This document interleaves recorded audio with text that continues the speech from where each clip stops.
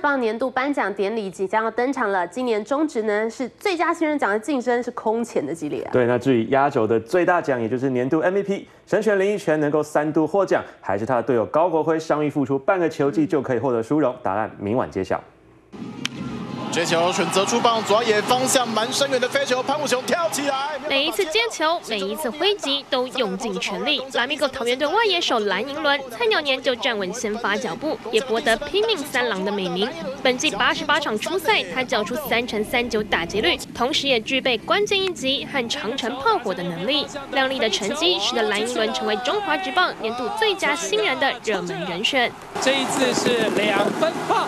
同样用美技虏获球迷的心，意大内野手林威廷用攻守俱佳的表现，证明菜鸟也能出头天。林威廷全年九十二场先发，还能维持三成以上的打击率，怎么看都不像是纸棒菜鸟，像那一生一次的新人王也有不小机会。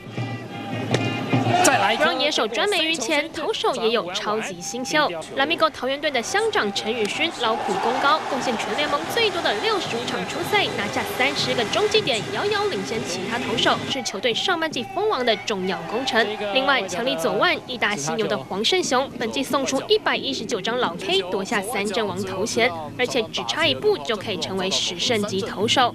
除了这四位菜鸟，今年总计有八位球员要角逐新人王奖项，竞争空前激烈。球结果没有办法接到。由媒体票选产生获奖人的，还有最高荣誉年度最有价值球员。去年得主义大神拳林奕泉，虽然没能重现上一季安打全垒打打击三冠王的风采，但多项指标数据都高居联盟前三节，也获得银棒奖的肯定。若能达成连霸，林奕泉将成为史上第四位连庄 MVP 的球员，也是第一位。三度获奖的选手，不过神拳最大的竞争对手就在自家休息室。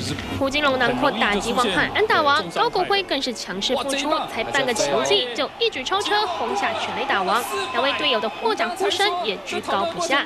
此外，中信兄弟王牌郑凯文拥有最多胜和最低防御率，桃园终结者米吉亚也缴出近乎完美的关门表现。究竟终止二十五年的 MVP 降落谁家？五号晚间揭晓答案。有线 TV 梁纯总报道。